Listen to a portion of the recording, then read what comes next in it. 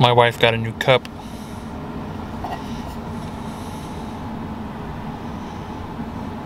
After this, we're getting tacos. Hola. Welcome to another edition of Redbeard Food Reviews Mobile Edition. Today, we have something very special. We have tacos, which is not special for us. But they're at a different location we've never been to in a marvelous little town called New Hope, Pennsylvania. And the first thing you gotta know about New Hope, Pennsylvania is cha-ching, cha-ching. Everything is expensive there. It's almost like Pennsylvania Disney. And it's crowded during the summer. There's a lot of people. A lot of motorcycles go there, a lot of people walking. So we just had to walk through hell and back to get these tacos. I hope you like them as much as we like them. Let's take a look at the food, shall we? You got tortilla chips. Hopefully they're fresh. We have an order of carne asada tacos with the radishes. My wife doesn't like, so I'm gonna eat these right here. And underneath, no folks, it's not Mexican pizza. Although it looks like it, it's called the tlayuda which is pretty much like tortillas, chorizo, Oaxaca cheese, avocado, which look like pickles, and salsa. Mm. The place we ordered these tacos from today is in New Hope. It's called Los Catrines. It's a little shop. It's right next to the New Hope Visitor Center. And there's like a lot of restaurants on that little road there. But we saw a Mexican and we said, by golly, that's what we gotta get. So we got three tacos, which my wife is currently eating, and a tlayuda. Let's see how they are. My, my, my, where should I go first? Well, you may need a knife and fork, but you can probably just kind of pick it up and like, like fold it over. So let's just try one of these little avocados first. Yum, yum, yum. So the tacos are double shell, which is a good sign of quality. My wife took all the radishes off. Let's just go in for a little piece here. Let's just get, you know, you know, just take a little piece right here. Mm-hmm. Steak's good. Thin. Salty for me. Definitely need a little Oaxaca cheese on there. But my wife got them plain. We all know how that goes. Definitely no sort of seasoning on them. It's kind of like just a regular plain meat. Uh, they have carne asada, they have al pastor, they have linguilla or linguaya, which is the beef tongue. Oh, beef tongue. I should have got the beef tongue. Let's wash this down with a nice sip of glass bottle Coke, which is a sign of refinement. Nothing beats that real sugar flavor.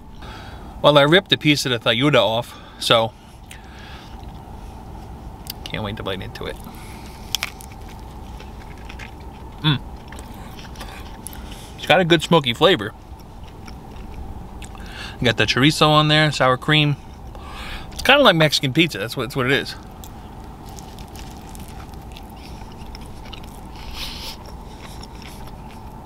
Chorizo is pretty good on there. Like a black bean sauce. Not bad.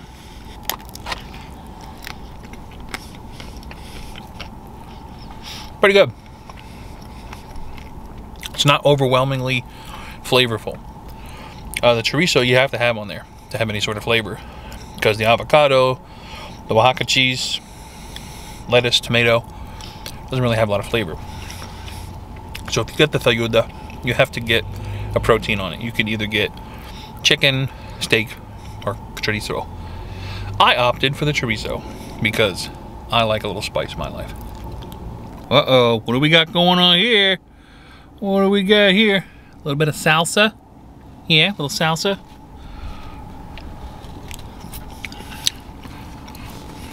Not bad. It's like a tomatillo sauce. Pinky's out. Oh, oh, that's a lot of garlic.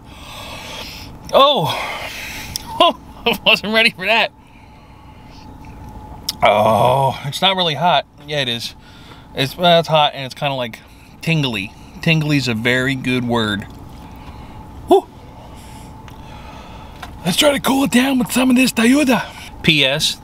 The tlayuda is very messy. I don't know why I keep ordering these messy foods.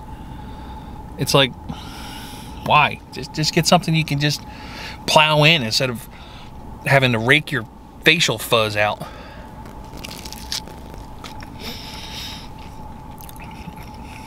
You can definitely tell it was it was it was baked in an oven. It's got that like oven kind of flavor, like it picks up everything that was cooked in the oven. Very good. Well, it's time for a wrap up of this meal at Los Catrines in New Hope, Pennsylvania. The overall vibe of the place is very, very modern, very kitschy. It's a very eclectic crowd. Very eclectic, I would say. Uh, you got anyone from grandmas to bikers rolling around down in New Hope. And it's like that, that's the whole vibe of the town. It's free. It's you do whatever you want. Overall value for your money, the Ayuda, three tacos and two sodas was twenty six fifty.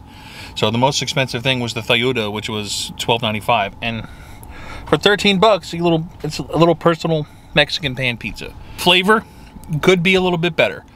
Uh, the flavor itself is not as strong. Uh, it's the steak is very plain. The most flavorful thing on the tlayuda is the chorizo, so you have to have some sort of protein on it, or else this is not going to be as flavorful as it should be. The rest of the menu has a lot of authentic things and not so many authentic things. They have tacos, they have burritos, uh, they have the Mexican flatbread pizza, the tlayuda. They have uh, enchiladas. I saw sopas on there and empanadas.